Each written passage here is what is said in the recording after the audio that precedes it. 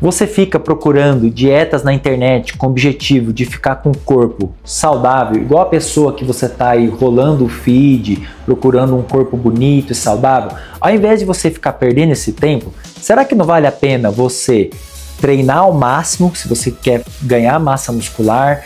Será que não vale a pena você ter uma dieta diversificada e até pensar em alguns suplementos? Você observa que eu falei de suplementos por último? Muitas pessoas já se matriculam na academia já vão ali comprar diversos potes de suplemento. Mas o que eu te digo é que uma alimentação diversificada e de fato alguns suplementos que vão ajudar a dar um up ali para ganho de massa muscular, perder peso, ter uma estética saudável, vão de fato te ajudar muito.